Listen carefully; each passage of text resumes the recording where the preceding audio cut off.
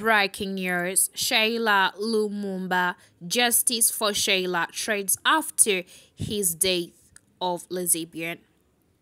Um, today's trend of Kenya that need justice for this young lady's death and uh, of one non-bio lesbian, according to LGBTQ organization them discovers Sheila's body several days ago.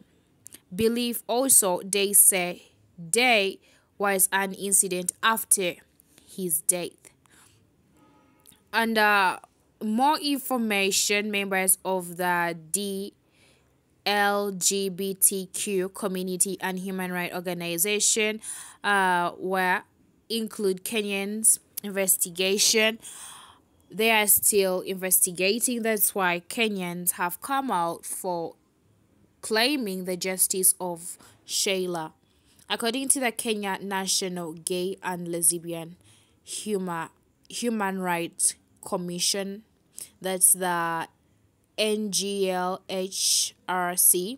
Sheila case not be isolated one as the group document increases incidents of uh, these incidents that have occurred.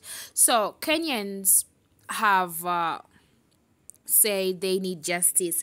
And of course may his soul rest internal peace. If you know more details about uh, Sheila's death just go into my comment section and do comment below. I'll be waiting for your comment but once again may his soul rest in eternal peace because we have lost someone and that's why Kenyans have come out to claim justice for this young girl. And of course may also God protect and strengthen the people that we are so close to her. And uh, don't forget to subscribe like share and also leave a comment.